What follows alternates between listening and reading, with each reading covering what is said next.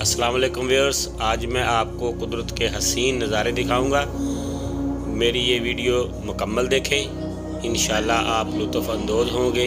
ऐसे वो मेरे दोस्त जिन्होंने मेरा चैनल सब्सक्राइब नहीं किया, वो जल्दी से मेरा चैनल सब्सक्राइब कर लें और बेल आइकॉन के बटन को भी प्रेस कर लें ताकि हर आने वाली नई वीडियो आप तक बर वक्त पहुँच सके।